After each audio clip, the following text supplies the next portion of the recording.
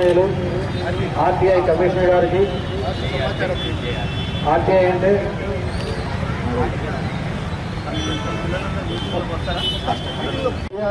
అందరికీ నా నమస్కారం.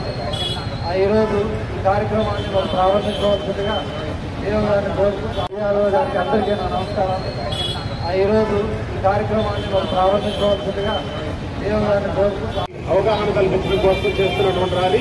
మరి ఈ ర్యాలీ ఈ ర్యాలీని ఉద్దేశించి మాట్లాడవలసిందిగా కోరుతున్నాం మన స్కూల్లో మన స్కూల్ నుండి ఆ టౌన్ హాల్ వరకు కూడా ఒక మంచి ర్యాలీ మనం నిర్వహించబోతున్నాం. చేశారా? Very good very good RTI అంటే ఎవరికైనా తెలుసా ఇక్కడ? ఆర్టీఐ అంటే ఫుల్ ఫామ్ ఏంటి? Right to information right to information very good మనం అందరం కలిసి రైట్ టు ఇన్ఫర్మేషన్ని ముందుకు తీసుకెళ్ళడం కోసం ఒక కిలోమీటర్ నడుద్దాం.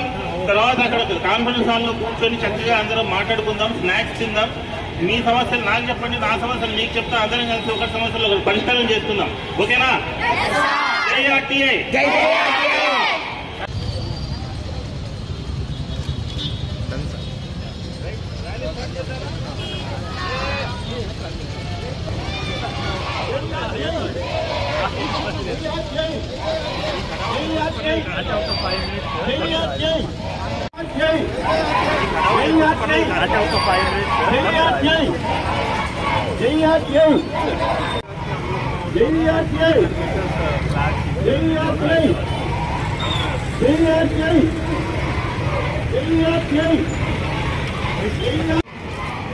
DFG!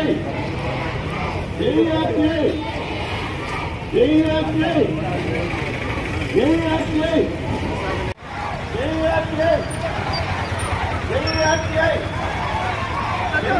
है यही आती है यही आती है यही आती है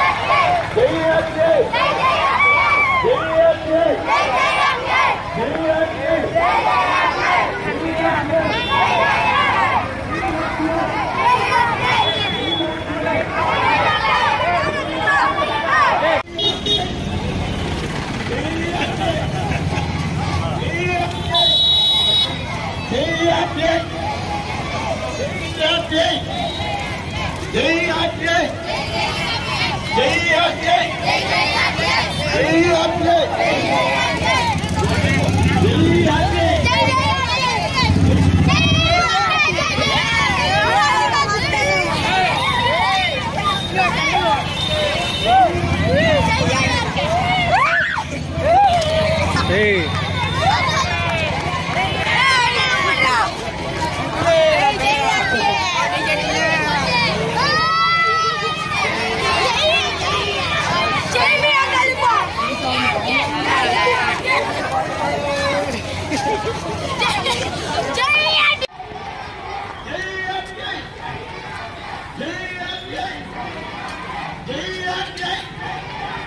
Jai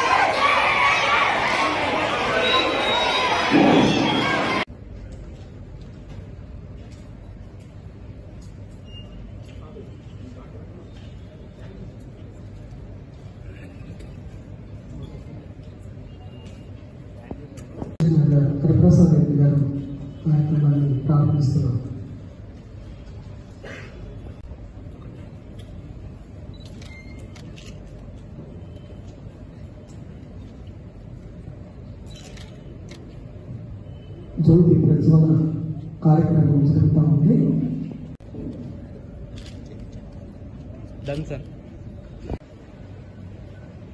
మిత్రులారా పిల్లలు ఎక్కువగా ఉన్నారు కాబట్టి మీ మిమ్మల్ని ఉద్దేశించి ఇంకొక రెండు మాటలు చెప్పాలనుకుంటున్నాను మనకు బాగా కామన్గా కనిపించండి కామన్ సెన్స్ కామన్ సెన్స్ అన్నది దాదాపుగా తగ్గిపోయి పుస్తకాల్లో ఉన్నది ఉన్నట్టుగా బట్టి కొట్టి దాన్ని రాయడం అనేది అలవాటుగా మారిపోయినటువంటి పరిస్థితులకు మనం ఉన్నాం కాబట్టి కామన్ సెన్స్ డెవలప్ జనం గురించి తెలుసుకుంటే సమాజం గురించి తెలుసుకుంటే మనకు ఆ కామన్ సెన్స్ అనేది వస్తుంది. కామన్ సెన్స్ అనేది పాఠ్య పుస్తకాల ద్వారా రాదు. రోజు పిల్లల రోజు కనీసం ఒక అరగంట పాటు మీరు వార్తాపత్రికలు చూడడం కోసము లేదా న్యూస్ ఛానల్స్ చూడడం కోసము లేదా రేడియోలో వార్తలు వినడం కోసమో లేదా మీ టీచర్స్తో సామాజిక అంశాల గురించి చర్చించడం కోసమో కనుక కేటాయిస్తే డెఫినెట్గా మీలో ఒక రకమైనటువంటి సామాజిక స్పృహ చిన్న వయసులో నుంచి మీరు పెంపొందుతుంది. మీరు ఒక ప్రయోజకమైనటువంటి పౌరులుగా ఎదుగుతారు. కొంతవరకు మన సిలబస్లో మనకు జ్ఞానాన్ని కానీ ఛాలెంజెస్ని ఎదుర్కొని జీవితంలో ముందడుగు వేయాలంటే మీకు కావాల్సింది ధైర్యం కలేజ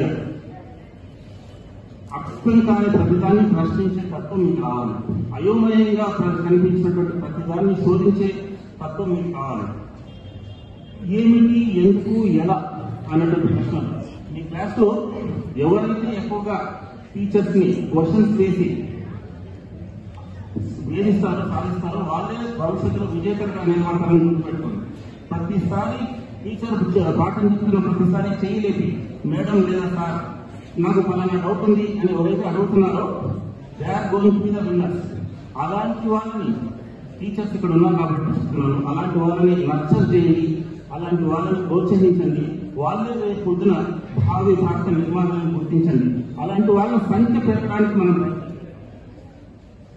ఎందుకంటే సమాజంతో నిరంతరం కనెక్ట్ అయి ఉండడం వల్ల మీ ఆలోచనలు అనేవి పదం లేదు మీ ఆలోచనలకు ఒక గొప్ప శక్తి లభిస్తుంది. మీరు రోడ్ల మీదకి వెళ్ళి ఉద్యమంలో పోరాటాలు చేయాల్సిన అవసరం లేదు. ఇంతకుముందు మీరు జెండా పట్టుకుని జేఆర్టీ జేఆర్టీ అంటూ వచ్చారు. That is very very good thing కాకపోతే మీరు అలా ప్రతిసారి రావాల్సిన అవసరం లేదు. ఆర్టీఐ అనేటువంటి చట్టం అనేది కరెక్ట్గా అర్థం చేసుకోండి. మీరు రోడ్ల మీదకి వచ్చి ఉద్యమం చేయాల్సినటువంటి అవసరం లేకుండానే మీరు ఆశించినటువంటి ఒక గొప్ప మార్పుని సమాజంలో తీసుకురావడానికి అవకాశం ఉంది. ఒక ఉదాహరణ